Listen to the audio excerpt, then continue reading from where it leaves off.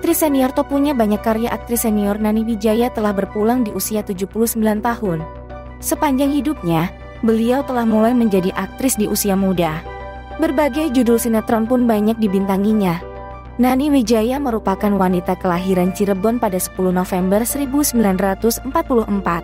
Nani telah mulai berkarier sebagai aktris di usia muda.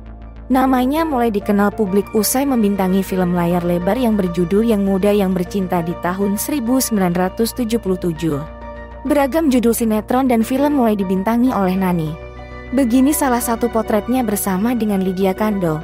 Saat bermain film, nanti kerap kali dipercaya memerankan karakter seorang ibu. Seperti halnya yang satu ini.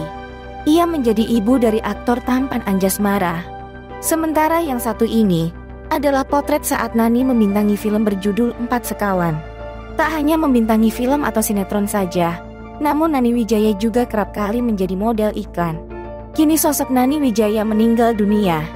Kabar duka itu disampaikan oleh putrinya langsung, Cahya Kamila.